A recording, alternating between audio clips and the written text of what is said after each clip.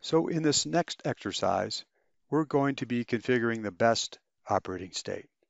And this time, we'll configure an analytic that will actually identify all three dryer operating states, regenerating, drying, and also the state standby, which we identified in the last exercise. So the best operating state will look like this. We'll define the standby state to be whenever the dryer temperature is between 120 and 170 degrees. So what we'll be doing is adding one line of code to our analytic, which is a, an additional if statement that checks to see if the outlet temperature is greater than 120 degrees. So if the temperatures are greater than 120 and less than an hourly average of 170, That'll be the standby state. Above the hourly average of 170 will be the regenerating state, and then below 120 degrees will be the drying state. Once we configure this analytic and check it in, we're going to want to backfill it. But we're going to want to backfill it for both dryers. So we'll be using the management view of Pi System Explorer. This will show you how to backfill more than one analytic at once. And then we'll go back to PI Vision and take another look at things. And hopefully we'll get this result. Some nice clean squared off lines that also include the standby state. So let's get back to Pi System Explorer and get this done. Okay, we're back in Pi System Explorer. And the first step is going to be to upgrade our analytic with the best operating state configuration. So if you copy the uh, expression out of your workbook and go in and replace what's in here, just paste over it, you'll see that we've added the extra if statement to look for the outlet temperature when it's greater than 120 degrees. Now we're going to have to check this in. We'll go up and do that. All right, now our changes have been applied to all elements derived from this template, specifically in this case, dryer A and B. Now, in order to do the backfill, let's go to the management view.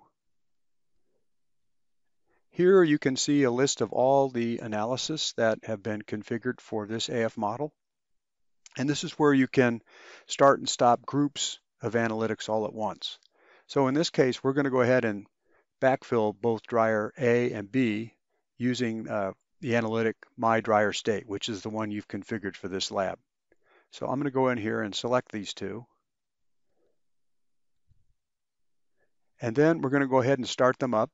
So if you go over to the right here, click Enable and wait for a couple of seconds. And when you get the green check marks next to each analytic, you know that they're up and running. Next, to backfill them, we'll go down to this third item that says Queue. And this is where, just like we did in the previous example, we'll have to specify the start and end times for the backfilling. So I'm going to go ahead and pick the entire year 2019. So we'll go from January to December 31st. And just like before, we have the same options. We'll go ahead and permanently delete everything. Remember now, in this case, this is important because we've already populated the tag for dryer A with some results, the better analytic. We don't want those anymore. We're, we're interacting with the system. We're kind of rewriting our Pi data to upgrade it. So what we want to do there is definitely make sure we check permanently delete everything because what we had before is no good. We know that. We want it replaced with the best analytic, which is what we're doing right now. Okay, so go ahead and click Queue. And you'll see in the lower right, there's some bar graphs this time it's showing you the, you know, the aggregated progress, I guess. And then also in the middle, you'll see the progress for each particular analytic. Okay, so it's all done. We've backfilled our results. Now, probably good practice at this point, since you're really not ready yet to put things into production, is to go back up here and disable these analytics. So to the right of enable is disable. And if we click that, that's going to take these uh, two analytics out of the anal analysis service, and they won't be run anymore until we go and start them up again once we're 100% sure this is something we want to do. So this is a good uh, example of how you might control individual analytics from one page uh, and you know start and manage them, uh, start and stop them and manage them much more easily.